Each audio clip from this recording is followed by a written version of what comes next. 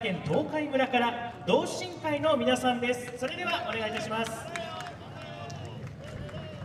東海村を拠点に活動している同心会の皆さん踊り子も観客の皆様もみんなが楽しめる演舞を心に残る演舞を目指します。